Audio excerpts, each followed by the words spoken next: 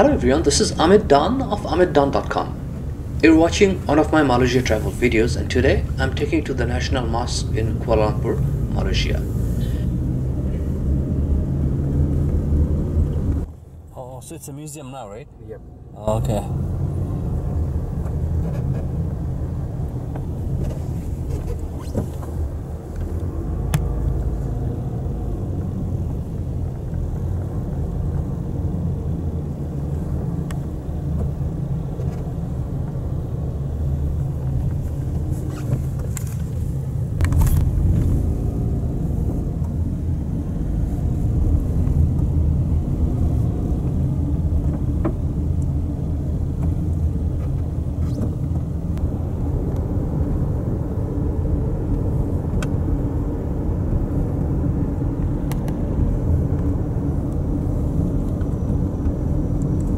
Is your green in Canada same like this?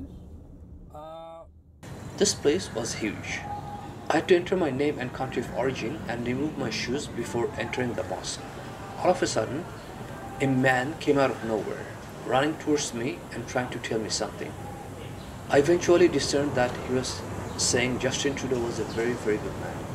He saw Canada next to my name and came running to me just to tell me that.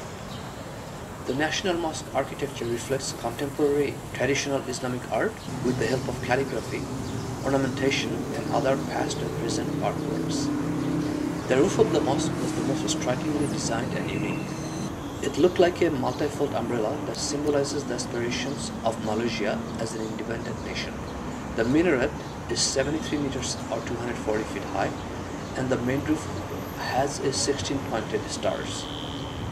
15,000 people can pray in the mosque together and it is situated among 13 acres of gardens in the heart of Kuala Lumpur.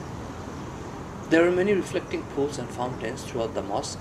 A sense of tranquility and peacefulness existed throughout the complex. I noticed there is a point up to which non-Muslims can go inside the mosque. The employees were not letting visitors inside, which seemed to be the main prayer room, unless they were Muslims. Some of the Kuala Lumpur skylines were visible from the mosque. I saw two buildings connected on top, which looked like a boat, next to the St. Regis Hotel. This building complex kind of looked like the Marina Bay Sands Hotel in Singapore. I was not sure if these two buildings were a part of the St. Regis Hotel or separate. Thank you for watching this video. Forget about subscribing this channel. Forget about liking this video. There'll be more videos coming up, so I'll see you shortly. Thank you.